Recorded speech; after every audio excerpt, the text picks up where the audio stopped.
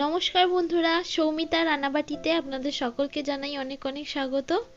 আজকে আমি আপনাদের বানিয়ে দেখাবো চালের গুঁড়ি দিয়ে গুড় পিঠের রেসিপি এই পিঠেটাকে অনেক জায়গায় আবার ভাজা পিঠে বা পোয়া পিঠেও বলে থাকে। আমাদের এখানে এটাকে গুড় পিঠে বলে।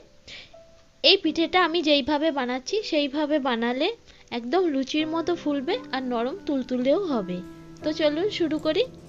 দেখুন, আমি এখানে এই বাটিটা মাপে দু বাটি চালের গুঁড়ি নিলাম।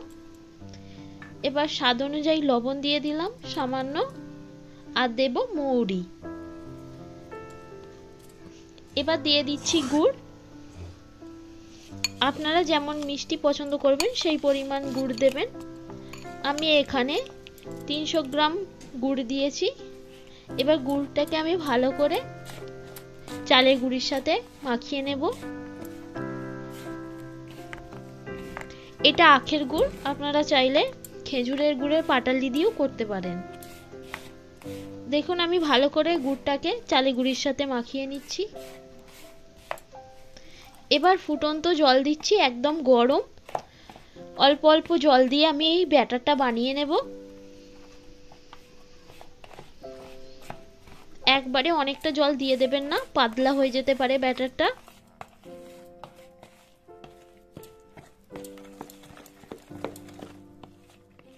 দেখুন, আমি হাতে করে ভালো করে ফেটিয়ে ফেটিয়ে ব্যাটারটা তৈরি করছি। এইভাবে তৈরি করতে হবে। ভালো করে ফেটালে একদম লুচির মতো ফুলবে। দেখুন এই রকম ঘনত্বের ব্যাটারটা তৈরি করেছি। এবার কড়াইতে তেলটা গরম করে নিয়েছি ভালো করে। তেলটা গরম হয়ে যাওয়ার পর আমি এক হাতা ব্যাটার এর মধ্যে দিয়ে দিলাম।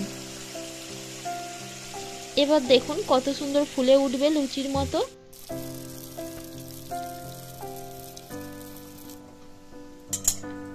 এবার উপর থেকে একটু তেল ছিটিয়ে ছিটিয়ে দিচ্ছি।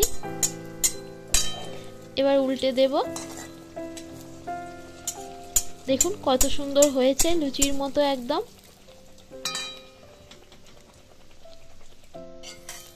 দেখুন লাল করে ভাজা হয়ে গেছে, এবার এটাকে আমি তুলে নিচ্ছি। আবারও আমি ছেড়ে দিলাম ব্যাটার। ব্যাটারটা ঠিকঠাক বানালে একদম লুচির মতো ফুলে উঠবে। দেখুন কত সুন্দর ফুলে উঠছে সবকটি পিঠে।